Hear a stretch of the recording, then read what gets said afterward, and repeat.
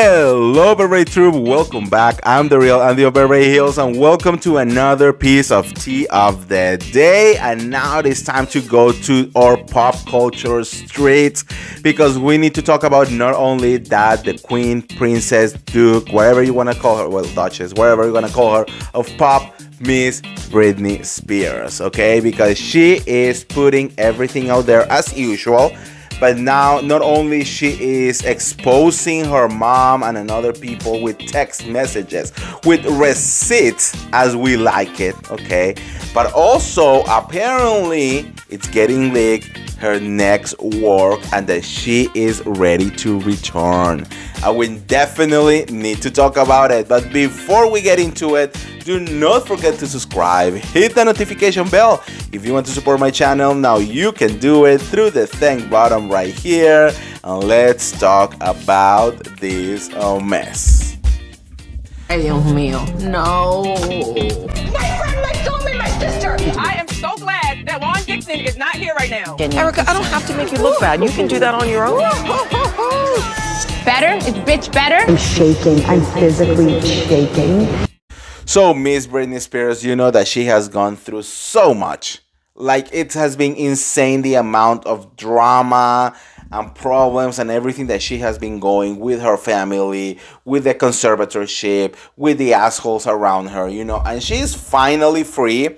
Still, I think she's still working into like adjusting to this new life of finally being free, of like finally being able to do things for herself. But that doesn't mean that that is going to happen from one day to another. You know, now she can definitely t- tell to herself that she is a work in progress because she is learning how to live a normal life by herself without people controlling every move that she does without people as uh, telling her what to do or what not to do you know without people like pushing her or exploiting her and doing things that she didn't even want to do. Finally she's free to do whatever the fuck she wants you know? So she's kind of like you know playing the fields walking on eggshells trying to understand who is really there for her who is not there for her and like navigating this new world. Like imagine this world is already hard. Now imagine being in a world when you don't really know who you can trust because everyone wants literally a piece of you. So she's definitely doing that. And I applaud her the way that she has been handling things her wedding, her marriage to Sam, uh, the way that she didn't jump into do any crazy things right away. She's literally taking her time, little by little. I really appreciate it because it really show us that Britney is a strong, independent woman that she can make things happen. Now, she is definitely not happy with her family. I don't think she will ever be okay with her family, and I think that's something that um they will have to live with because they did her so wrong for so many years that it will be even stupid to try to think that Britney Spears could eventually be okay with what with one of you know her family members. They all use her and exploit her so much for so many years that she's definitely i mean she needs a lot of of therapy let's just say it like that you know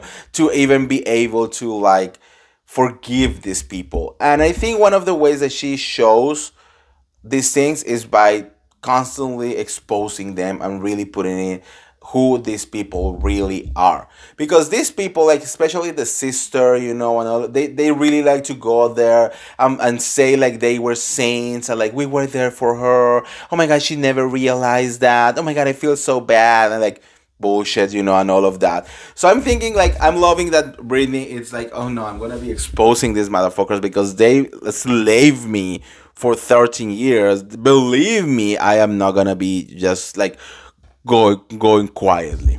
So she uh, exposed some text messages on Instagram as usual with a huge post as usual uh, then she took them down. So I don't know, maybe for legal reasons or something. But you know, when A-listers and all of that, you can post something for one second and the whole world already is gonna have screenshots. So I have a tweet for you. You know, these are some messages um, that she did with her mom and some other people. The first one says, and this is with the mom, and she, and he was saying, I think, I think this is from Britney to her mom. I think she's saying he he was saying he wants to up the Seroquel, and I'm like, whoa, horsey, go fuck yourself. Seroquel I thought was a sleep aid, but it's for bipolar, and I and is way stronger than lithium. I literally feel all the sick medicine in my stomach. I feel like he's trying to kill me. I swear to God, I do. And another message to Jansen says, Okay, I need John's Bell's number, please, when you can. And then she says, "Uh, Also, what about the lithium levels, in your opinion, and it's being monitored for so long?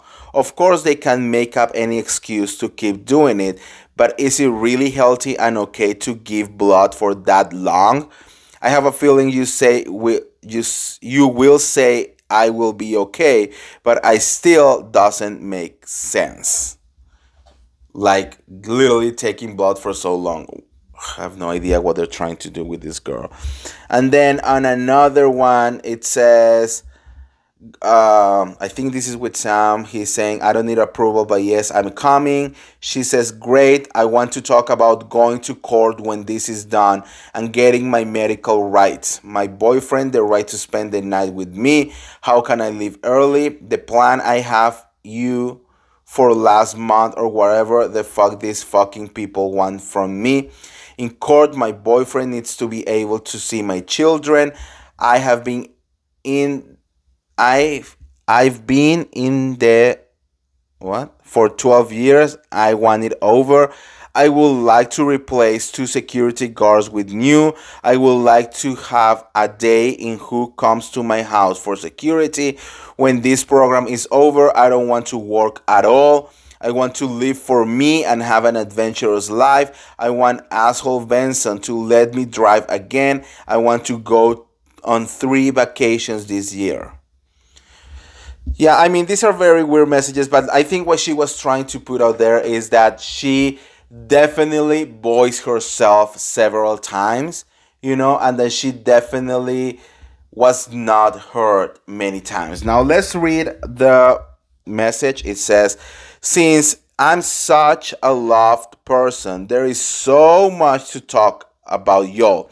I will be honest, I woke up sometimes and forget I can have coffee. I'm so damn blessed. Like I said, I'm reflecting back this week. I know about backs because I have two boys and my back is a beast sometimes. Reflecting back is a crazy thing. Moving into a new home. To be honest, I hate the moving process. All my suits are gone.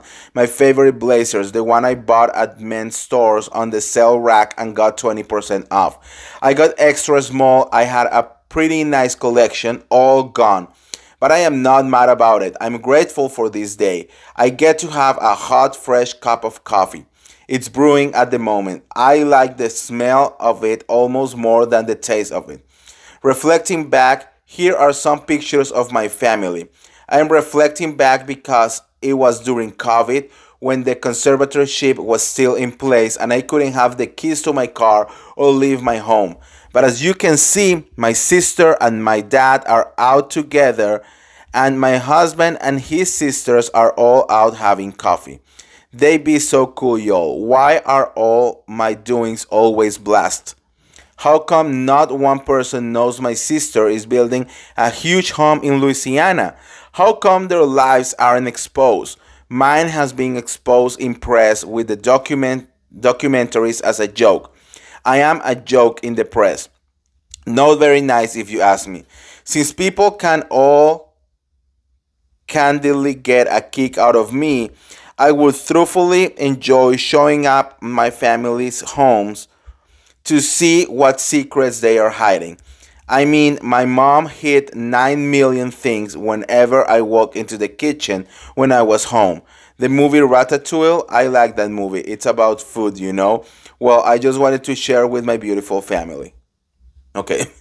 So, um, yeah, I think that, that what she's trying to put out there is like how all her family usually like control her and manipulate her and gaslight her constantly and you know as long as she has all these receipts i think it's okay for her to put it out there so we keep seeing what kind of family uh, the spears family actually is so that's one thing. The other uh, very quickly thing is like according to page six, Britney Spears has been meeting with Elton John to do a new version of a song, and it could be the first big song that Britney Spears will be releasing after this whole mess that she just lived, you know.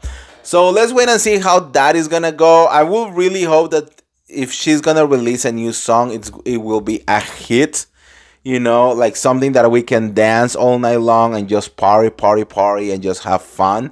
But you know what? This is a new Britney, so it's going to be kind of like discovering a new artist at this point, you know. So let's see what she has in mind for her new life, and let's all support whatever she decided to do.